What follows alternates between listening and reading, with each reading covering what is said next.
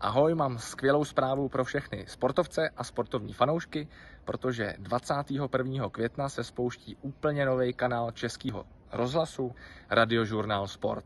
Bude to úplně první ryze sportovní kanál u nás, který bude plný e, eh, přímých přenosů nejenom z největších sportovních akcí, ale taky aktuálního spravodajství a dalších zajímavostí.